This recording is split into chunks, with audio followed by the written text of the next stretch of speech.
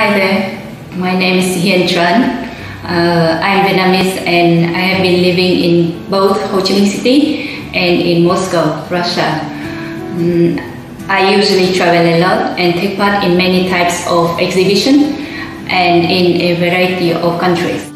The ongoing pandemic has changed the pace of life of everybody. Uh, as an artist, I have felt it's affected me a great deal since many museums has been closed and our person-to-person interaction uh, has become limited. I'm sure that many artists, including myself, uh, has felt some loss of inspiration and mutual encouragement. I want to thank you for inviting me to the online exhibition, Artists for Artists exhibition, as it gives me a platform and opportunity uh, to share my work with the world.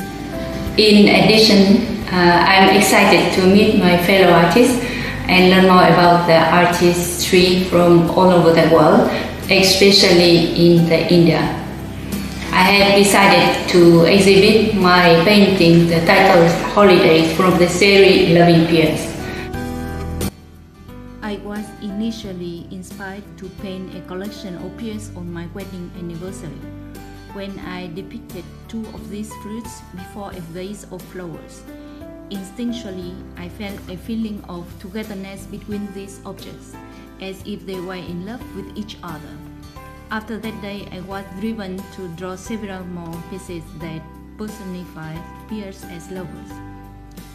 This uh, piece holiday is also dedicated to my wedding anniversary, which my husband and I are unfortunately spending apart because of the circumstances surrounding COVID 19.